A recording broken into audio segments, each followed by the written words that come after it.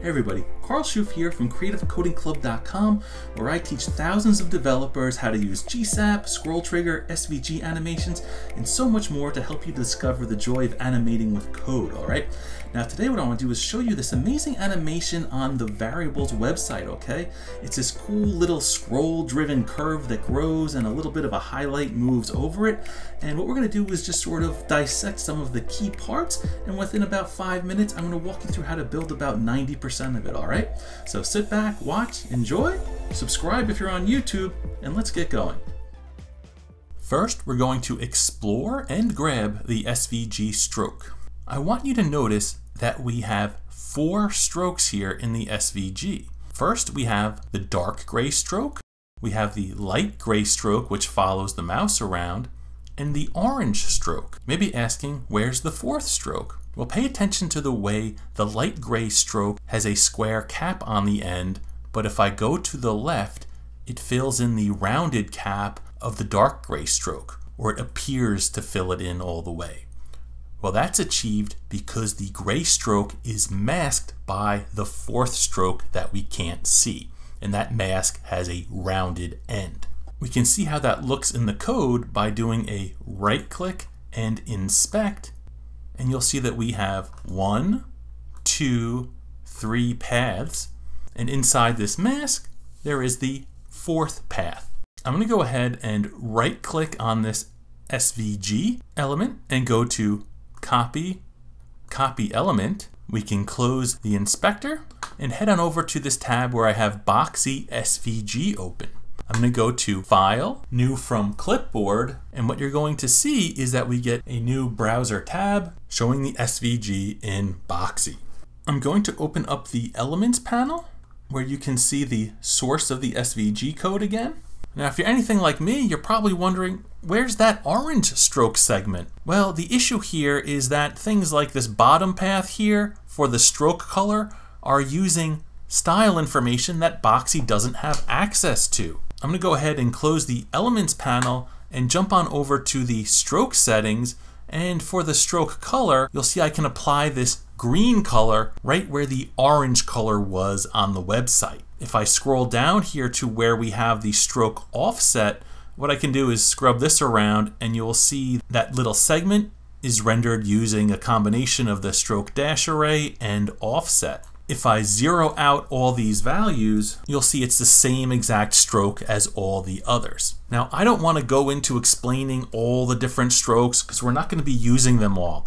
In fact, I'm going to go into the Elements panel here and I'm going to start just deleting things that we don't need. And we're only going to be left with this one path here, which is the solid gray one. Again, I want to keep this quick and just focus on a few key characteristics of the animation. So I'm going to go ahead, copy out this outer SVG, and let's build the first animation in CodePen. Over here in CodePen, I have my typical standard bare bones file. And in the HTML panel here, I'm just going to paste in the SVG code, and now you'll see it rendered on the left. Now what I want to do with GSAP is animate these values in the D attribute so that I can start with a flattened curve and animate it to this sort of nice bent curve here. I'm going to go ahead and give this path an ID of path full so that I can easily target it with GSAP. I'm going to head on over to my JavaScript panel and I want to point out that in the settings I am loading GSAP, GS GSDevTools, and Draw SVG plugin, which we've used tons before in my courses. I've got a timeline ready for some animations, and that timeline is already hooked up to GS DevTools so that we can scrub through our timeline and explore it. The first thing I want to put in my timeline is a from tween that targets my path full, and what we're going to do is animate the D attribute. So I'm going to pass in ATTR to target an attribute, and using the object syntax, I want to target the D attribute and pass in the starting values of that flattened curve. And you may be asking, where do I get those values from? Well, we can jump back to the variable site and I'm just going to scroll to a point where that curve is flattened out. You know, right about there is fine.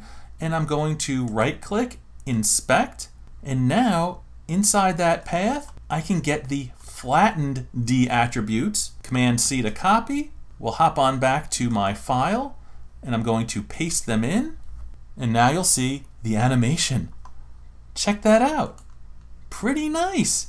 Scrub back, we start flat. We're animating from those values to the values we have in the SVG.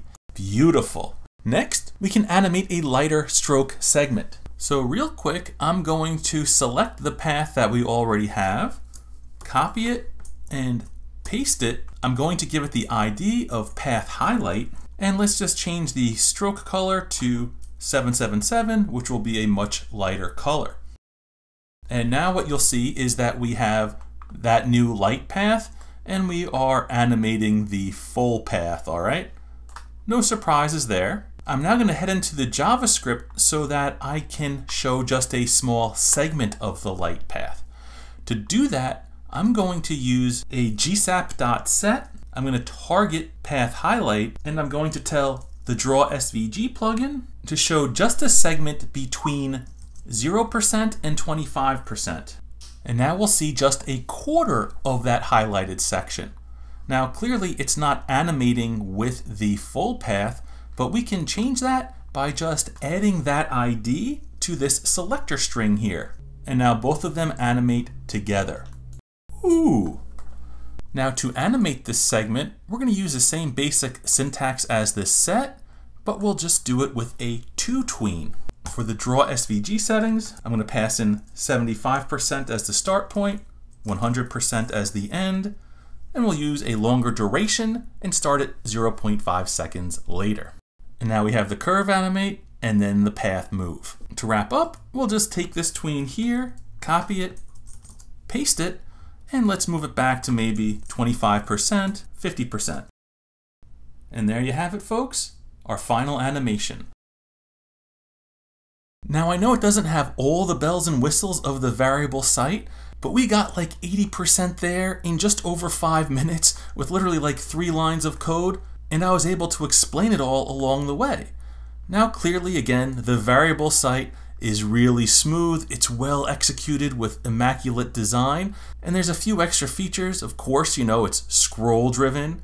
We talked a little bit about the masking so that we can have the flat edge line up with the rounded edge down here. And of course, there's this really nice, elegant rollover that's happening. And I want to assure you that none of those individual pieces on their own is all that complicated. It's just a matter of piecing them all together. Now, although I can't build all this out right now, I do want to leave you with this little bonus demo where I made those hotspots interactive, okay? When each button gets rolled over, we just create a new tween with new draw SVG settings. So folks, I've got to get going now, but again, I'll give you those two demos for you to explore, and I encourage you to check out creativecodingclub.com where you can unlock over 200 videos of my GSAP training, all right? I'm going to walk you through all these tools and keep it real simple so that you can learn the basics and progress to advanced skills where you'll be building this stuff on your own. That's my ultimate goal, and I hope to see you in the club. Thanks for watching.